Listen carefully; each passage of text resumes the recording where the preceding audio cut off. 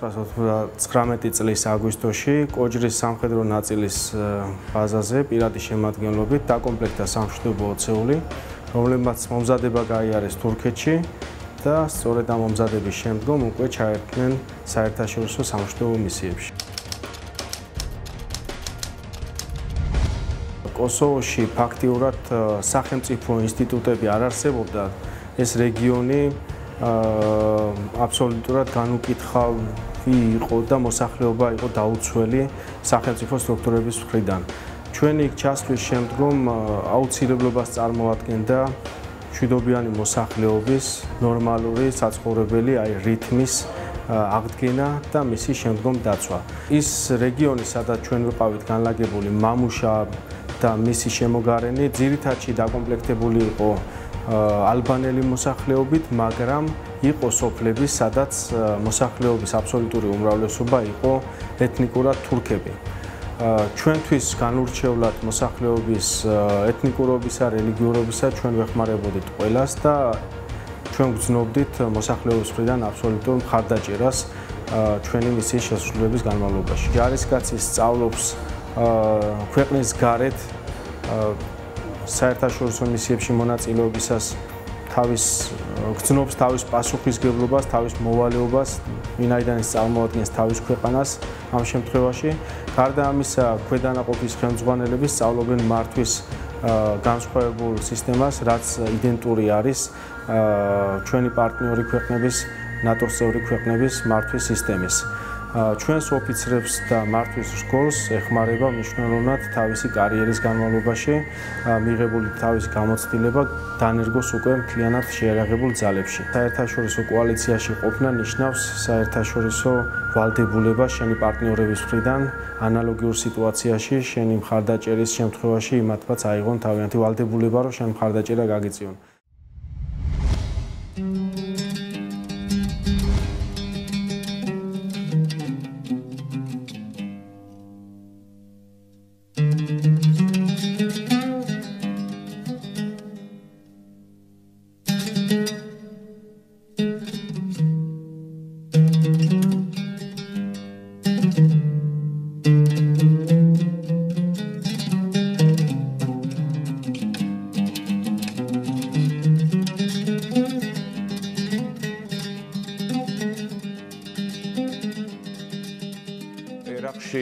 ჩემი მისია იყო 2005 წელს.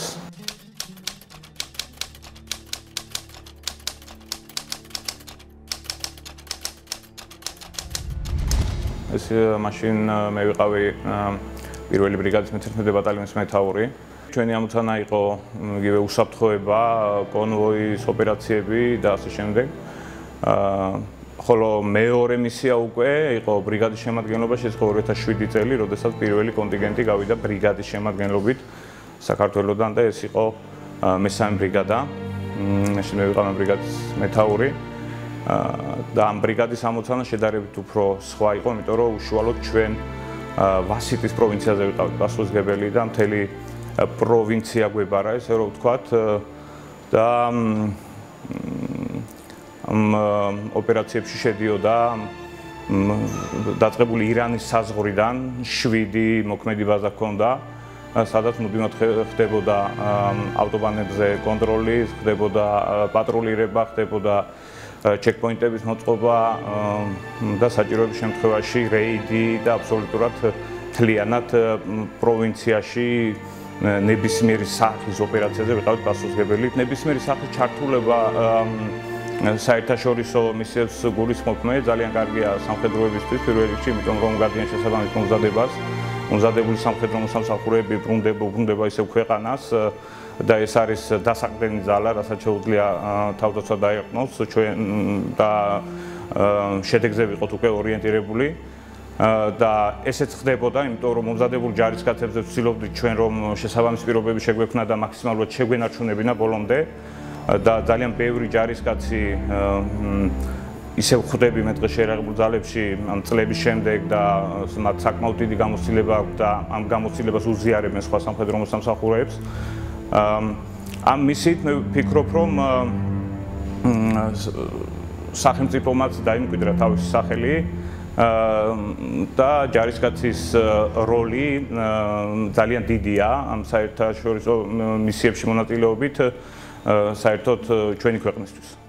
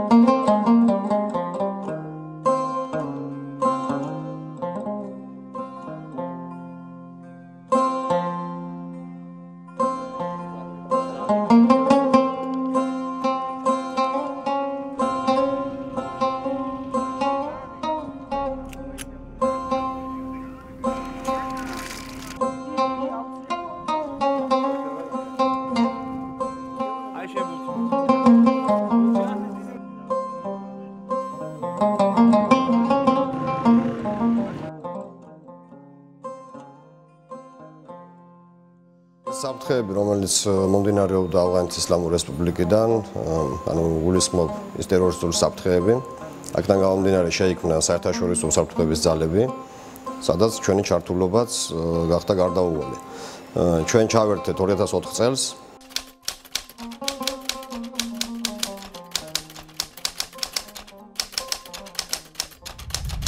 აღნიშნულ მისიაში ჯერ გაძლიერებული ოცეულის ზომის ქვედანაყოფით და შემდეგ უკვე 2008 წლის ბოლოს 2009 წლის დასაწყისში უკვე აღნიშნული ქვედანაყოფი გაიზარდა ბატალიონის ქვეითი ბატალიონის ზომის სახით. და ამჟამად გრძელდება ეს მისია 2009 წლის შემდეგ და ვართ ავღანეთში რამოდენიმე ადგილას როგორც ამერიკული ქვედანაყოფების მხარდამხარ ასევე გერმანული კონტინგენტის მხარდამხარ. ჩვენი მისიები მანამდე სხვა სხვა ქვეყნებში როგორც ნაუშად იგივე ერახში ყოველთვის გვიწევდა ამერიკულ ამერიკის შეერთებული შტატების არმიასთან ერთად. ის ასევე როგორც საზღვაო ქვეითებთან. ამიტომ მათმა ნამდვილად დაინახეს, რომ ჩვენ ჯარისკაცი, ჩვენ ქვეყანაში იყო ისეთ საბრძოლო პოტენციალი, რომელიც და ასევე ჩვენი ქვეყანაყოფების მომზადება ხდებოდა ზუსტად იმ დოქტრინებით და იმ საველე სახელმწიფოებებით, როგორც ამერიკული ქვეყანაყოფები. ამიტომ ჩვენთვის ძალიან მარტივი იყო მათთან კოორდინაცია და ასევე მათთვისაც სხვა სხვა ოპერაციებში. და ნამდვილად შემიძლია გითხრათ, რომ ჩვენმა მებრძოლებმა, ჩვენმა ქვედანაყოფებმა დაამტკიცეს ნამდვილად, რომ არიან ყოველთვის მოტივირებულები, დისციპლინირებულები და მაღალი საბრძოლო მზადყოფნის მატარებლები. ყველა მეთაურს გაწნობერებული აქვს და ყველა სამხედრო მოსამსახურეს, რომ გარდა იმისა, რომ ის არის ჯარისკაცი დღეს, შეერაღებული ძალების დასრულებს მისიას სხვა ქვეყნის ტერიტორიაზე საერთაშორისო საფრთხეების ძალების შემადგენლობაში. ის არის ერთგვარად ჩვენი ქვეყნის სახელის წარმომჩენი და ყველა ცდილობს მეთაურიდან დაწყებული ჯარისკაცების ჩათვლით, რომ კონდეთ მაღალი დისციპლინის დონე, ჩვენ არ ჩვევია ესეთი რაღაცა, რომ ამას ვერ შევასრულებ, ამას ვერ გავაკეთებ. ზოგ არის ამოცანა და ის ამოცანა ამოცანიდან გამომდინარე მომზადებული ქვედანაყოფები, ზათ არიან რომ ნებისმიერ რთული ამოცანა შეასრულოს. ის იყო 2011 წლის 3 აგვისტო დილის საათები იყო გადმოსცეს რომ რაღაც საერთო სახლები იყო შესამოწმებელი სოფელ მუსახალაში და წავედით ორი დაჯგუფება. შემოწმეთ რამოდენიმე სახლი და უკვე უკან ბაზარზე დაბრუნების დროს ბოლო სახლს ამოწმებდით და ამ ბოლო სახლის შემოწმების დროს გალავანში შესვლისას საფრთხე ხელნაკეთ ნახზე ის შედარებას დავარგული ეფედაკიდური დამიზიანდა მარჯვენა ხელის ტევანიც კესერის დაზიანებული ქონდა ხედულობაც დაზიანებული ქონდა დიდი ტკივილი ნახე ნახა ჩვენ აქვეყნა ავღანეთში ისის დაწყების პირველი დღიდან და თემდეც ტკივილში ვარ და სულ ტკივილად გაყვება პირველ რიგში მოძახის წევრებს ვინც დაკარგა შვილები და კარგა მეუღლე ზოგმა და მამები დაიყვნენ და ეს დიდი ტკივილია პირველ რიგში მათი ოჯახების და შემდეგ ჩვენი სამშობლოსთვის. ასევე ის დაჭრილი სამხედროებიც, ვინც თავის ჯანმრთელობას შეცირეს, ასე ვთქვათ, უსხომიწაზე, თავის ქვეყნის ინტერესებს და ჩვენი ჯარი ასე ვთქვათ, ეჩვევა იმ გარემოებას, ეჩვევა იმ მდგომარეობას, რომ რეალური ომი რაც არის და პირველ რიგში აქ არის თავარი ფსიქოლოგიური მიჩვევა. ჩვენ რა თქმა უნდა საქართველოსი კარგი წვრთნები გვაქვს, კარგი სასკოლო ბაზები გვაქვს, მაგრამ სულ სხვა რეალობა.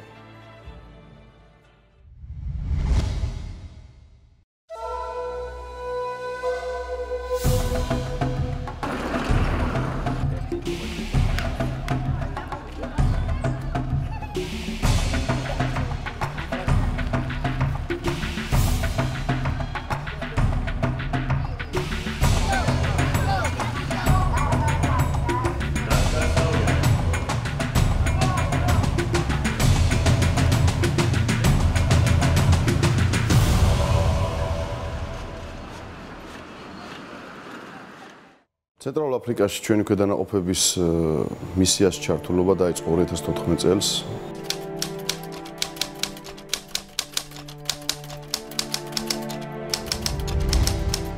პირველი კი იმყოფებოდა ადრილის ცალკეული ბატალიონის ერთი ასეული, რომლის როტაცია დაევალა ჩვენს ასეულს, 29 ბატალიონის მეორე ქვეით ასეულს. ჩვენი დავალება იყო დასახლებული პუნქტებში პატრულირება, ჩეკპოინტების მოწყობა და მაქსიმალური უსაფრთხოება ადგილობრივი მოსახლეობის. მოგიხსენებათ იქაური თვითონ ადგილობრივი შეერაღებული ბანდ ფორმირებები, რომლებიც შემოსავლის ძირითად წყაროც მათთვის წარმოადგენს ყაჩაღობა, მარადიორობა და ასე შემდეგ. მოსახლეობა ძალიან ცუდ მდგომარეობაში აგდებენ და ზუსტად აი ამ მიზნით ევროკავშირის მისია წარმოადგენილია იქ შეერაღებული ქვედანაყოფებით, რომლებიც ახორციელებენ მათი გადაადგილების თავისუფლების აღკვეთას და მოსახლეობისთვის მაქსიმალური უსაფრთხო გარემო შექმნას. როდესაც უკან მოვდიოდით, ძალიან ბევრი ბავშვები მოვიდა ჩვენს გასაცილებლად აეროპორტში.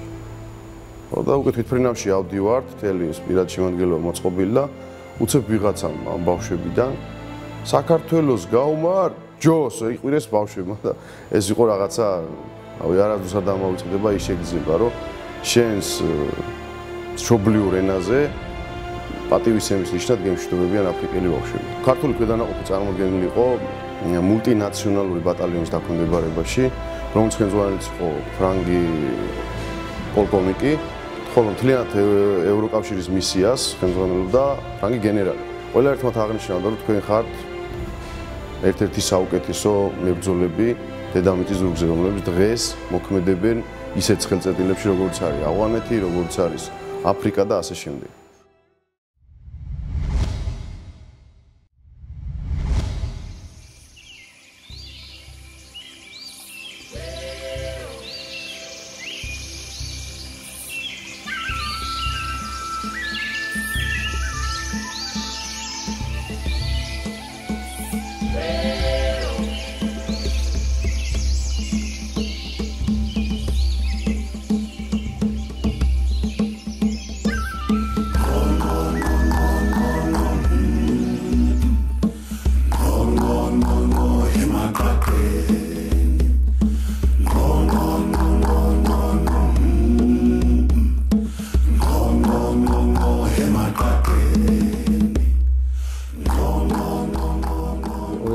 წლის 5 იანვრიდან 6 თვის ვადით. მინებული ვიყავი.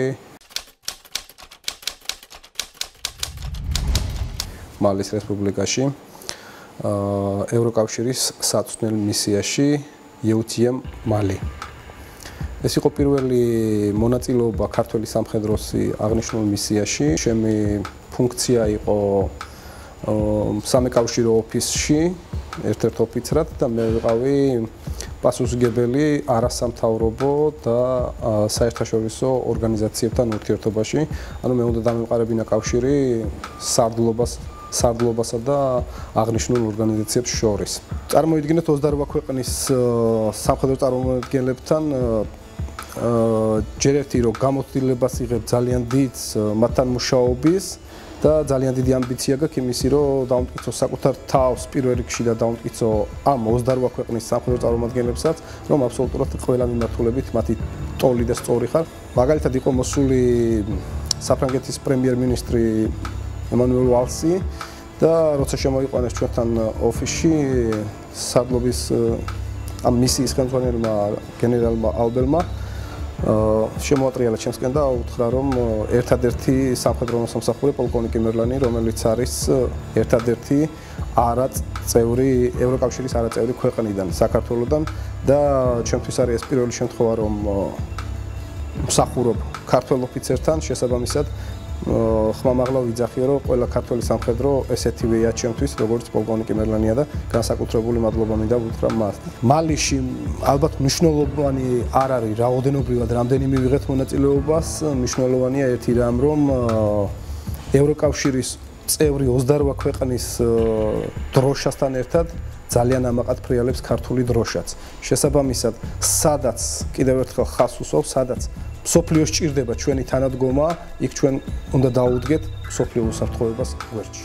საქართველოს მონაწილეობა აღნიშნულ მისიებში მნიშვნელოვანია. საქართველოს გაწევრიანებისთვის იმ ორგანიზაციებში, რომლის კინაც მინისტრაფი საქართველოს ნატოში გაწევრიანება და ევროკავშირში გაწევრიანება ეს არის ჩვენი ქვეყნის უმაღლესი მისტრაფების საგანი.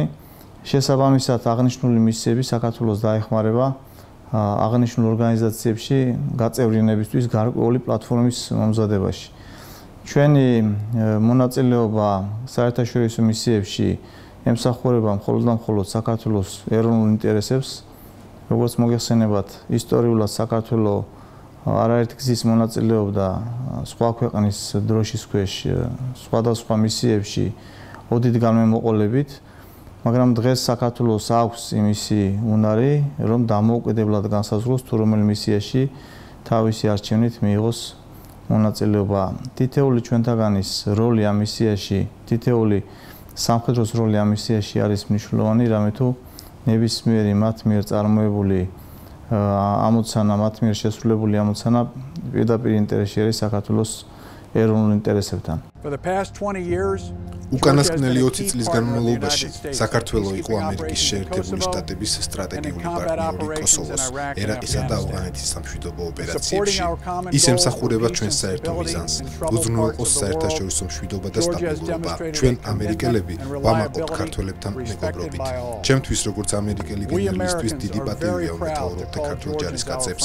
ავღანეთში მისიის დაწყების პირველივე დღიდან ქართველები მისიას ყველაზე უფრო ცხელწერტილებში ასრულებდნენ. ავღანეთში სამხედრო კონტინგენტის რაოდენობის მხრივ საქართველოს კოალიციური ძალების შორის ერთ-ერთი ყველაზე დიდი კონტრიბუტორია. მთელი ამ პერიოდის განმავლობაში ქართული სამხედროები სამშვიდობო მისიას მაღალი პროფესიონალიზმითა და თავდადებით ასრულებდნენ. მინდა მადლობა გადაუხადო და თანადგომა გამოხატო 31 დაღუპული სამხედრო სამსახურის ოჯახის წევრებისა და ახლობლების, ასევე მისიებში დაშავებული სამხედროების მიმართ. ქართველების თავდადება, დისციპლინა და პროფესიონალიზმი საყოველთაოდ არის აღიარებული. ჩვენ ვამაყობთ ქართველებთან მსახურით. ნატოს, საქართველოსა და ამერიკის შეერთებულ შტატებს ინტენსიური პარტნიორობა აკავშირებთ, რომელიც კიდევ უფრო ძლიერდება.